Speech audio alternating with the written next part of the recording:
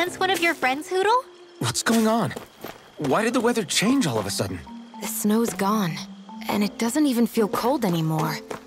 Just what's going on? what is this place? I see something big farther in. Is that a Zeugle? No, an owl? Hootle doesn't seem too wary, so it's probably not hostile. Let's go see what's up then. Stay sharp.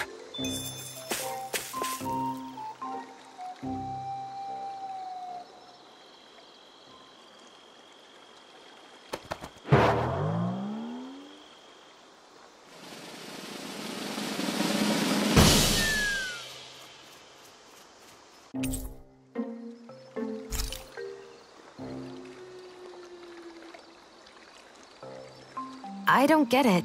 Why has it suddenly started giving us things?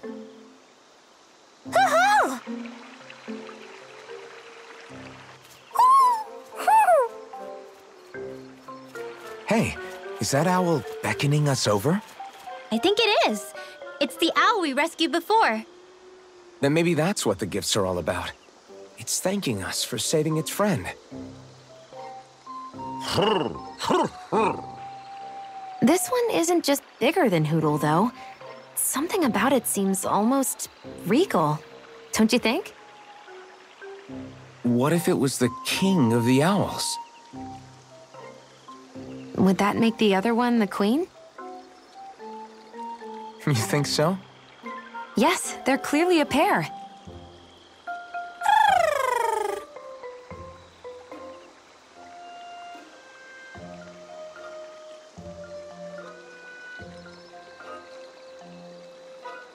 Is this some kind of owl sanctuary?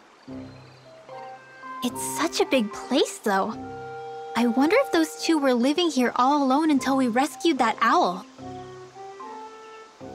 I thought no other owls existed, but here they are. And a king and queen by the looks of them. You never know what other ones might be out there until we look for them. It's not like you were searching the whole world over yourself, right, Rinwell? That's... well, I mean, yeah. I guess you've got a point. Hey, Hootle. How about we find more of your friends and tell them about this place? It can be a little side mission on our trip, if that's okay.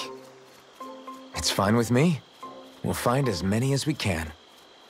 Thank you.